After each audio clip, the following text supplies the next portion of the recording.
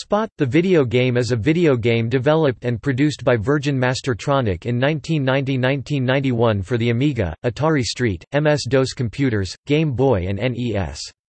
It is the first video game to feature the then-current 7-Up mascot, Spot, and was later followed up by platformers Cool Spot and Spot Goes to Hollywood.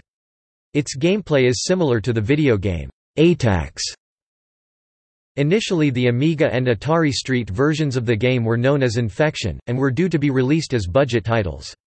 When the license was added the price increased, however, the non-branded Infection version of the game was released by developer Gary Dunn as freeware in 1994. Graham Devine recalled that the NES version was created, "...over six weeks with no development hardware or software."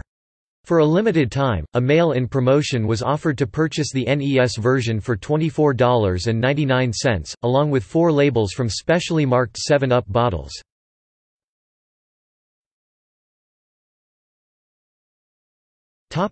Gameplay Gameplay took place on a 7x7 board, though in some variations, certain locations on that board would be unavailable. Two to four players alternated turns, with each player controlling pieces of a specific color. On each turn, a player selects an existing piece of his color, and then an empty position one or two squares away. If the selected location is one square away, a new piece is created in that location, otherwise, the chosen piece moves from its original location to the new location. In either case, all adjacent pieces are then changed to that player's color. Spot, the video game offered an animated approach to moving the pieces. Depending on the proximity and direction of the move, the spot character would appear as the moving piece and do a dance, roller skate, cartwheel, dive, fall backwards, etc. to the destination location. The NES and DOS versions allowed up to four players, each designated by a specific color.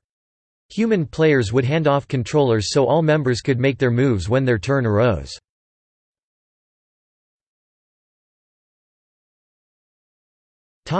See also.